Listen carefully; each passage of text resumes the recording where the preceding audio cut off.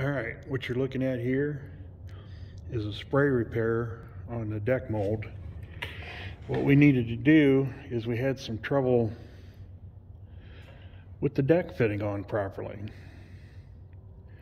So it was just it was just too short. It was very hard to get the boat together. We just needed a slightly longer deck. So what I did was cut it. I cut it right here and then all the way around the edge and moved it about a half an inch back.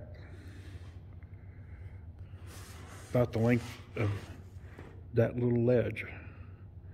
And then did did my repair work. I still got to sand and buff it and get it waxed up and get it back in. But this should give me the clearance I need to get this down without, you know, a pry bar on it. Should just go together nicely after this. But yeah, it turned out pretty good so far.